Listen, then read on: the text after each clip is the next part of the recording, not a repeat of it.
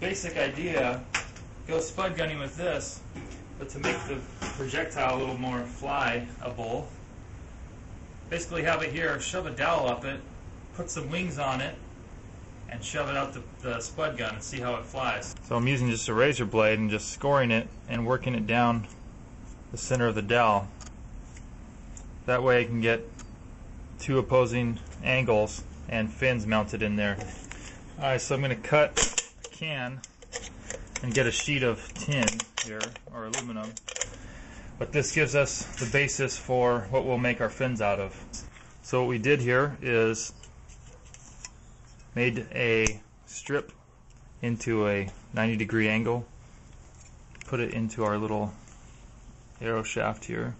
And so essentially I just smashed this potato through my barrel to get a little plug and then I just formed this into a cone shape with this potato peeler. Alright, well we got our first uh, potato rocket prototype.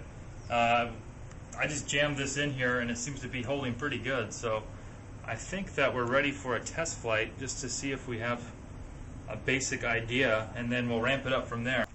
One, two, three. That shoots very straight. This is our control at 60 psi.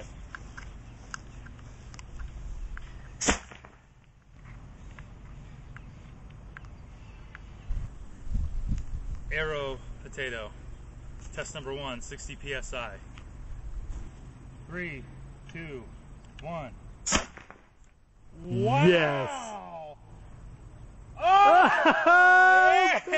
That went so far. Success!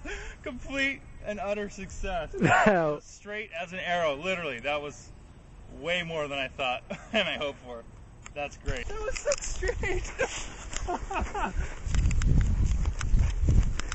oh man! So this is a great experiment. It uh, it was like an arrow. I couldn't have couldn't have done it any better. No wobble at all. Just flew straight the whole time.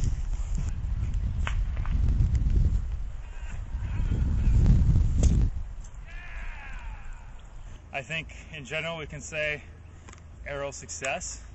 Flew straight, flew nice. You can see the whole thing. Um, we'll see what it says about distance, but it seemed to be about the same, maybe a little bit further. But it was fun. It's cool.